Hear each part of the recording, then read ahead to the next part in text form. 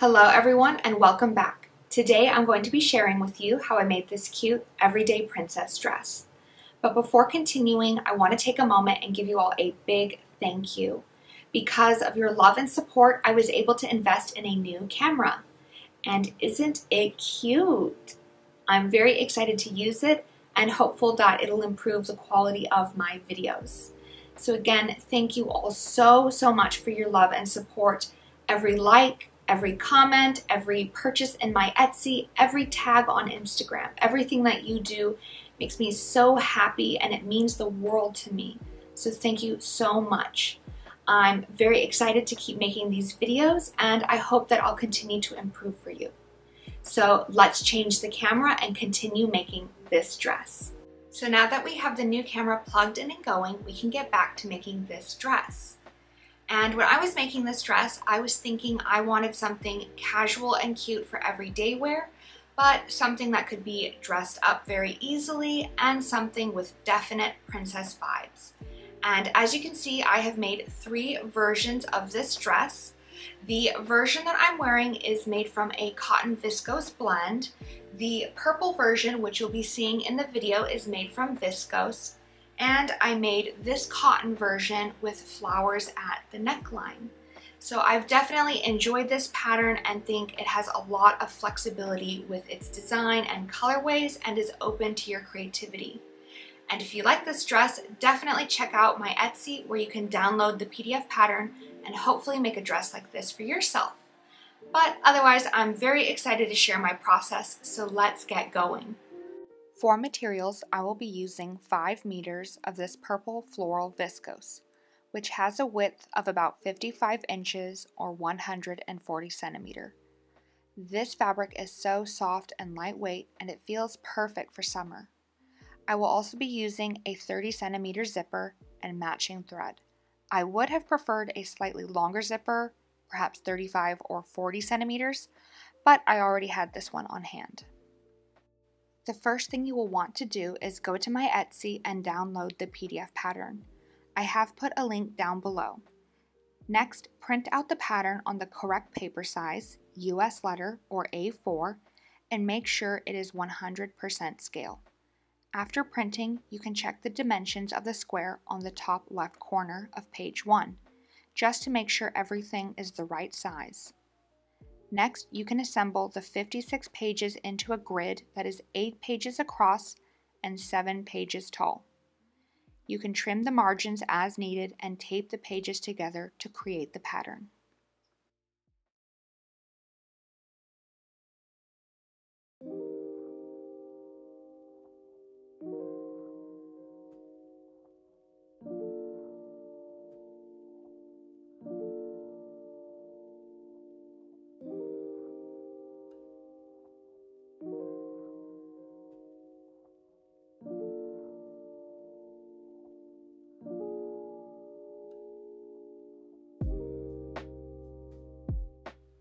Now the pattern is quite large and may take some time to assemble, so please work carefully and slowly, making sure everything lines up.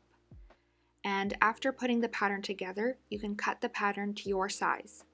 Within the instructions PDF, there is a size chart and more details to help you determine your correct size.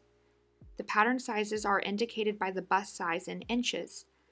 So a size 39 is for a 39 inch bust size. And for example, my bust size is 38 inches.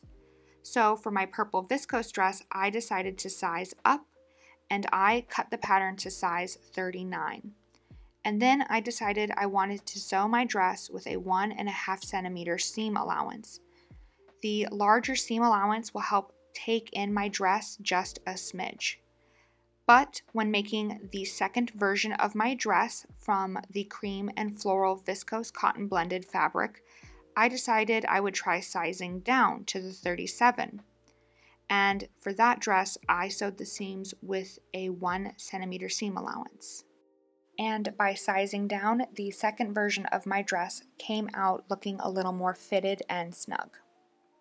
I do recommend choosing a size closest to your own and depending on if you size up or size down, you can adjust the seam allowance as needed. What is important though is that you use the same seam allowance width for both the top and bottom of your dress. That way, the seams will match up when you sew the waist.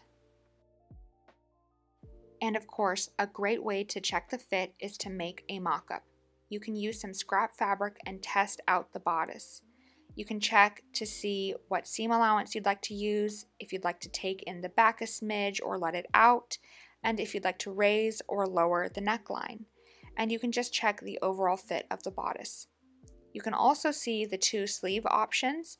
On the left is the sleeve that is a little more free and finished with a simple rolled hem and on the right is the sleeve that has a sleeve band for a subtle puff effect.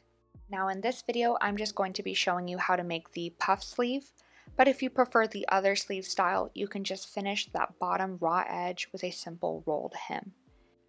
After making your mock-up, you can try it on and make sure everything fits comfortably. You can check that there's room in the back for the zipper and that the sleeves are a comfortable fit. You can also check and see if you'd like to lengthen or shorten the waist of your skirt portion. To check this, you can tie a ribbon around your waist to help you find your natural waistline. Then you can measure from the bottom of the bodice to your waistline and compare that measurement to the pattern. Don't forget to account for the seam allowance of 1 or 1.5 centimeters at the waist of the bodice and skirt pattern pieces when comparing these measurements.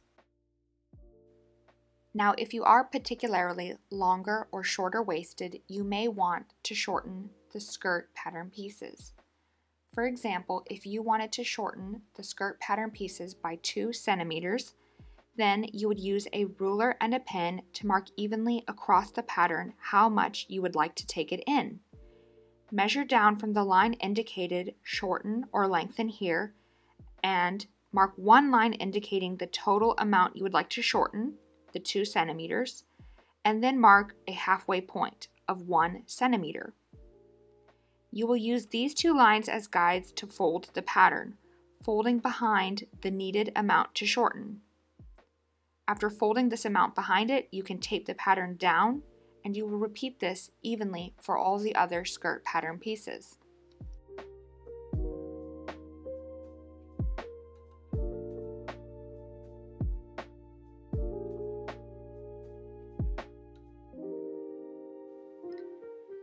And if, for example, you wanted to lengthen the skirt of your pattern by 2 centimeters, then you would draw two parallel lines equal distance apart. The distance would be how much you want to lengthen the waist of your skirt. So in this case, 2 centimeters. After drawing the two parallel lines 2 centimeters apart, you would next cut your pattern piece at the line indicated shorten or lengthen here. Then you would tape the pattern to either side of the line, making sure that they have been evenly spread apart. You can then tape them down and trim the pattern as needed. Again, you would repeat this evenly for all other skirt pattern pieces.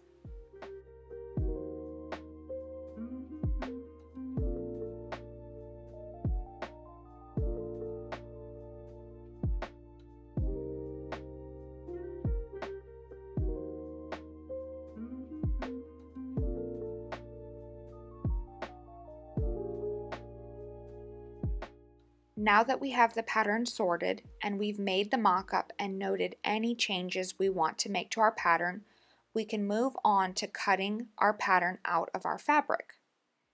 For my dress, I cut out two skirt side front pieces, two skirt side back pieces, two skirt back pieces, one skirt front cut on the fold, two sleeves, two sleeve bands, four bodice back pieces, two bodice front pieces cut on the fold, four bodice side back pieces, and four bodice side front pieces. Again, I had to work very carefully when cutting these pieces out since the viscose is a bit slippy and slinky. But now that I have all of my pieces cut out, we can move on to assembling the dress.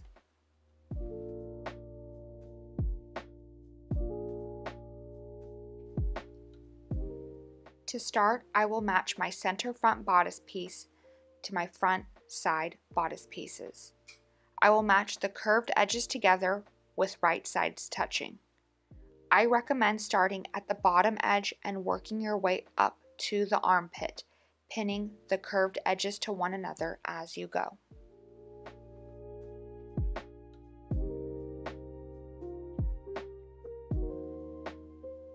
After pinning, I sew my bodice front to my bodice side front using 1.5 centimeters of seam allowance. First, I straight stitch, again starting sewing at the bottom edge and working up. Then I go back and zigzag finish the raw edges. The next thing I do is press the seam allowance towards the center bodice piece and top stitch it down. I will top stitch all of my seams down, but this is just something extra I like to do because I like the finished look and I like my seam allowance secured down. You, however, may choose to skip the top stitching and you may prefer to finish your seams with an entirely different method. The way you finish your seams is totally up to you.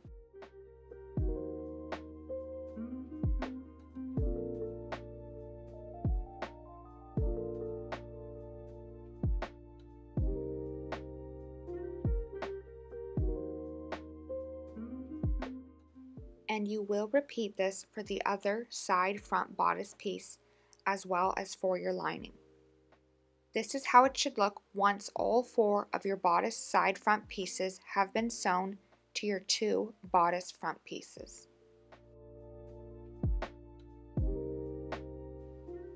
Next, I match the straight edges of my bodice side front piece to my bodice side back piece. I match the straight edges together with right sides touching, and again, I like to pin starting from the bottom, working towards the top armpit. After pinning, I sew these edges together once again with a straight stitch, then a zigzag stitch, and then I press my seam allowance towards my bodice side back and top stitch it down to secure.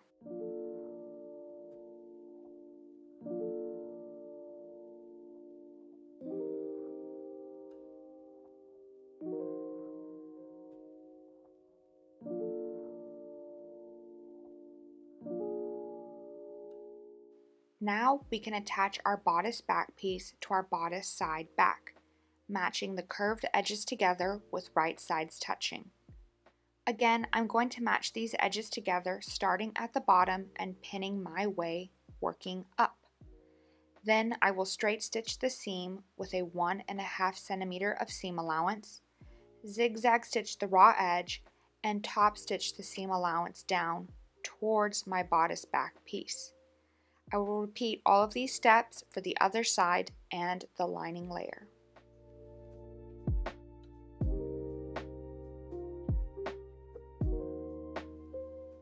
Next, I'm going to join my bodice front to my bodice back at the shoulders. With right sides together, I match the top shoulder edges to one another, pin, and then sew. I will straight stitch, zigzag stitch, and then Press the seam allowance towards the bodice back and top stitch it down. This is how it should look once all four of your shoulder seams have been made, two for the lining and two for the outer layer. The next thing we can do is create our sleeves and attach it to our bodice. First, I quickly check the sleeve band length. I want it to fit comfortably around my upper arm with a little ease room. Next, I will use chalk to mark the stars indicated on the pattern. Between these stars is where I will sew a gathering line of stitching.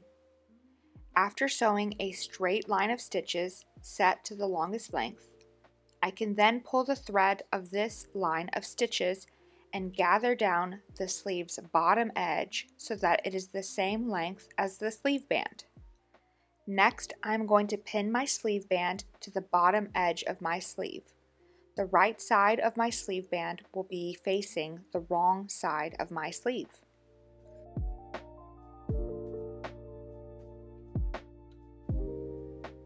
After pinning, I will sew my sleeve band to my sleeve, taking care as I sew over top the gathers. I will first straight stitch just a bit above the gathering line to hide it, and then finish the raw edge with a zigzag stitch. This is how the sleeve should be looking. Next, I'm going to fold the sleeve band over towards the front and press the seam allowance down. I also ironed the bottom edge of the sleeve band up about 1 centimeter. After pressing the seam allowance of the sleeve and sleeve band down and pressing the bottom raw edge of the sleeve band up, it should be easy to fold the sleeve band over one more time. This time, the bottom edge of the sleeve band should cover and hide the seam allowance. You can then pin it in place. After pinning it in place, you can top stitch it down to create the finished sleeve band.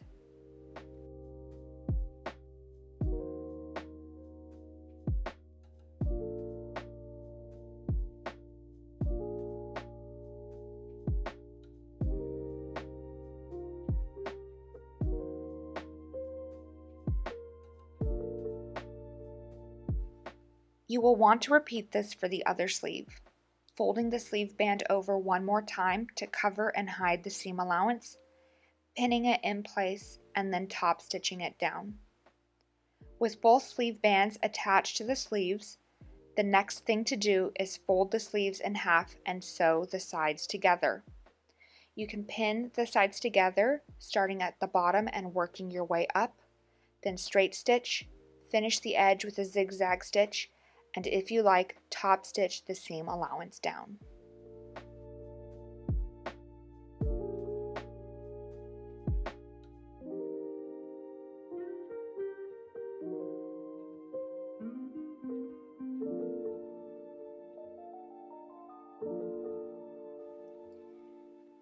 Next, I'm going to sew the sleeves to the outer layer of the bodice.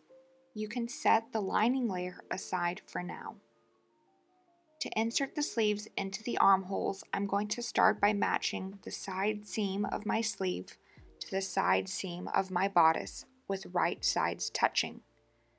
The side seam of the bodice will be where the side back is sewn to the side front. Match the seams together and pin, working your way up either side of the sleeve towards the top of the sleeve. You will pin the sleeve smooth and flat into the armhole until you reach the top where your gathering line of stitching begins. Once you reach your gathering line of stitches at the sleeve head, you can pull the threads and gather down the head of the sleeve to fit into the armhole. I like to take a little extra care and measure the gathers to make sure they are symmetrical on either side of my top shoulder seam. Once I am satisfied with my sleeve pinned into the armhole of my bodice, I sew it in place. First, with a careful straight stitch, taking care as I stitch down over top the gathers, and then I trim the edges, zigzag stitch the raw edges, and I even top stitch the seam allowance towards the bodice.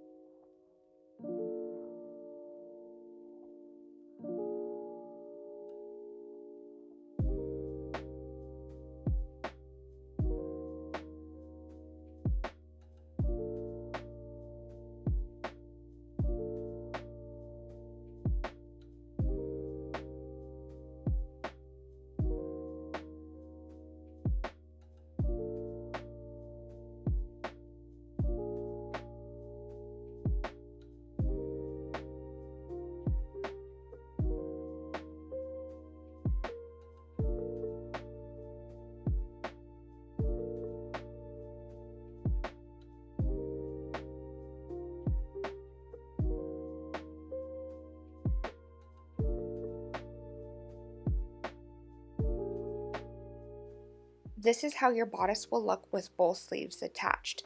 You can set the bodice outer layer and lining aside while we assemble the skirt for our dress. Now I want to take a quick moment and talk about the stars I have added to the skirt pattern pieces that I hope will make assembly easier. Each side of the skirt pattern has been marked with a star, and this is to help make matching the sides of the skirt together easy. All you have to do is match the stars. So let's start by matching the skirt front to the skirt side front. Match the sides with one star together, pin starting at the top, working and pinning your way down, and then you can sew. First straight stitch, zigzag stitch the raw edges, and then you can top stitch the seam allowance towards the skirt front.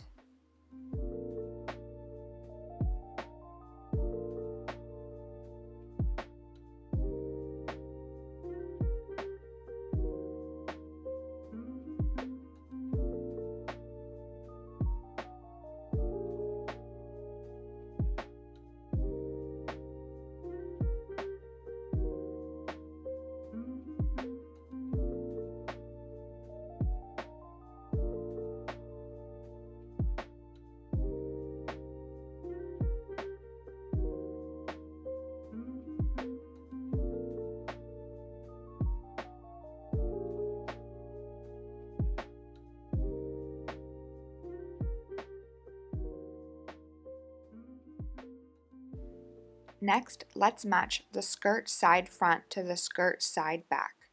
Match the sides with three stars together and pin starting at the top working down. After pinning, you can sew, straight stitch, zigzag stitch, and then top stitch the seam allowance towards the side back.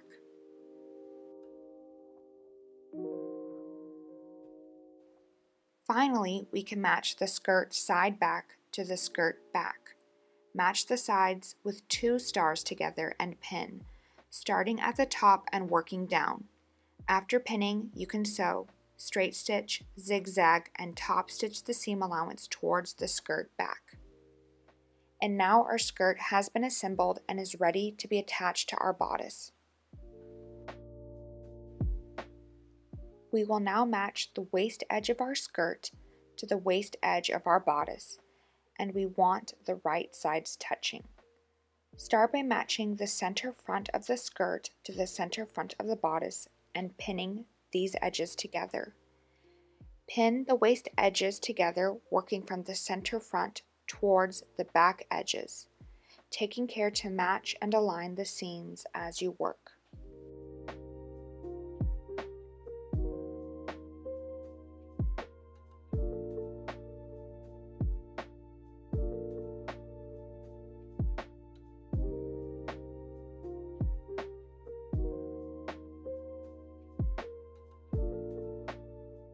Once the waist edges of the bodice and skirt have been pinned together, you can now sew along the waist and finish by top stitching the seam allowance towards the bodice.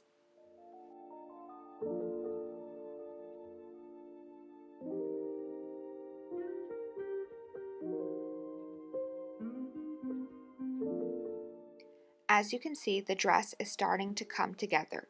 So let's start the finishing touches by adding the lining. First, match and pin the bodice outer layer to the lining layer all along the neckline, making sure to pin right sides touching, and do take care to match the shoulder seams. Next, sew the bodice outer layer to the lining layer all along the neckline, pivoting at the sharp corners at the back of the neckline. After sewing, you can clip the seam allowance to make turning easier.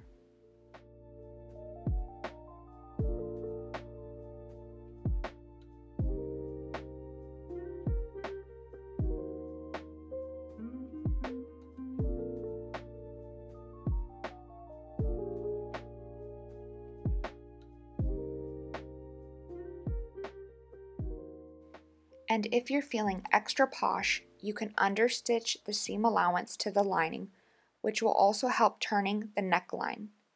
Once the lining is attached to the bodice all along the neckline, I like to quickly finish the raw waist and armhole edges of my lining with a zigzag stitch. So here is what we're working with. The skirt is sewn to the bodice at the waist, and the bodice is sewn to the lining at the neckline. You can also see that I have understitched my clip seam allowance to the lining all along the neckline. The next thing to do will be add the zipper and sew up the back.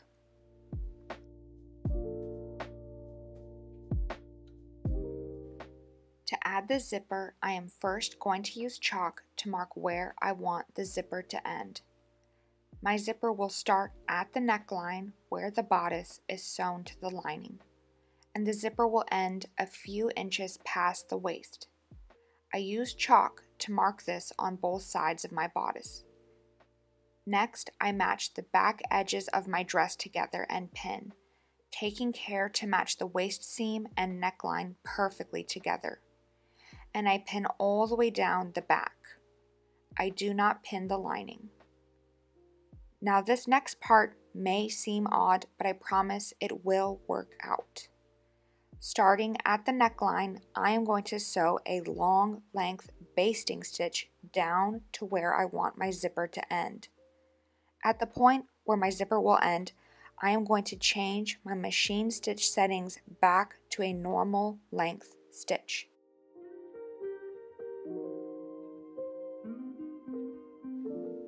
So to repeat, I am sewing the back edges of my dress together with a straight stitch. From the top edge of the neckline to the ending point of the zipper, I will sew using a long length basting stitch. Once I reach the point where the zipper will end, a point I've marked with chalk, I will change back to a regular length stitch, and then sew the rest of the back edge of the dress. Next, I will use an iron to press open that back seam. You can also press open the back edges of the lining. And this is how the center back seam of the dress should look. Notice that the back edges of the lining have not been sewn together. Just a basting stitch from the neckline to the zipper end point and a regular stitch from the zipper end to the bottom edge of the dress. Now I am going to pin my zipper into the center of the seam we just created. I basically want the teeth of my zipper to be nestled right in the center of the seam we sewed with the basting stitch. I'm going to carefully place and pin my zipper into the back seam, the top of my zipper starting at the neckline where my bodice is sewn to the lining and ending a few inches below the waist.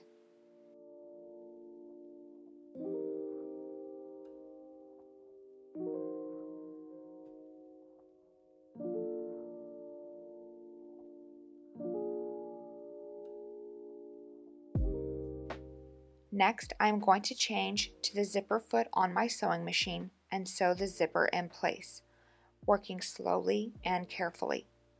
Once I've sewn both sides of my zipper into the seam, I can now carefully cut away the basting stitches. And voila, a zipper has been installed. Now all we have left to do is hand sew the lining and hem the bottom edge.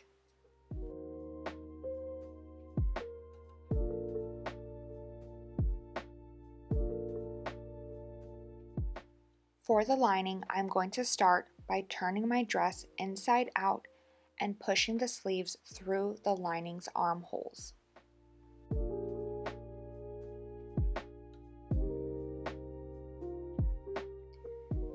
Next, I'm going to fold the edges of my lining inward, pin them to the seam allowance of my bodice, and hand sew them. You can do this with the dress lying flat but I find it easier to do it on my mannequin. As you can see, I am folding all of the edges of my lining at the armholes and the waist inward and then pinning them to the seam allowance of my bodice, carefully trying to match the seams. Once I am satisfied, I hand sew the lining to the seam allowance of the bodice. I also sew the lining to the zipper, careful not to get too close to the zipper teeth.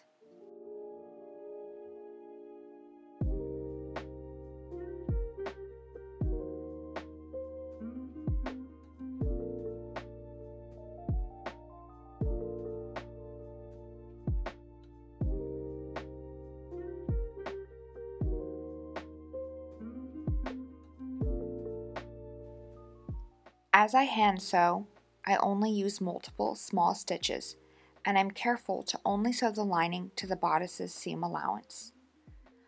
While this step of hand sewing the lining to the bodice can be a bit time consuming, I do think it creates a very nice clean finish to the dress and I really like the final result so I do think it's worth the extra time.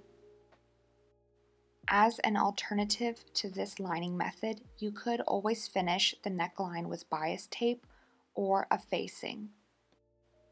But here's what the inside of my dress looks like with the complete lining. Again, I think it gives it such a nice and tidy finish, and I really like the guts of this dress and I like finishing in this method.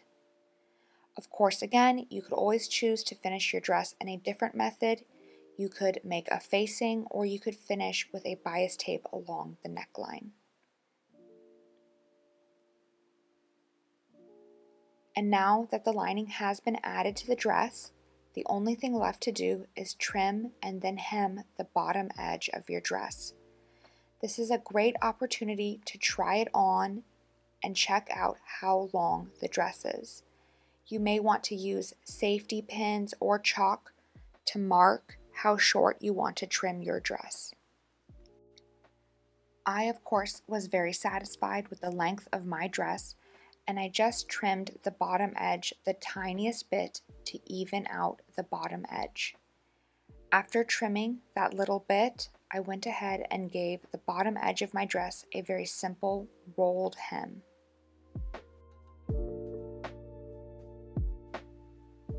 For the hem, all I did was fold over the bottom edge just the tiniest bit and stitch it down. Then, to completely hide the raw edge, I folded it over one more time and stitched it down again. And that was how I finished the bottom edge of my dress. After everything was sewn, I took a moment and pressed the neckline and the bottom edge of my dress with an iron. And here you can see a little bit more of the details of the dress, what the understitching looks like at the neckline, and what some of the top stitching looks like. Overall, I'm very happy with the way this came out. And I'm very excited to show you how it looks when worn.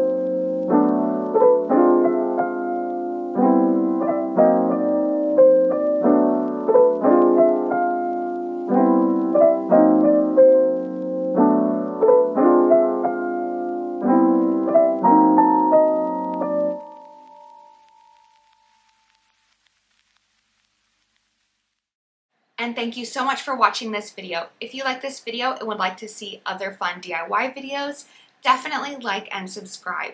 Thank you. Bye.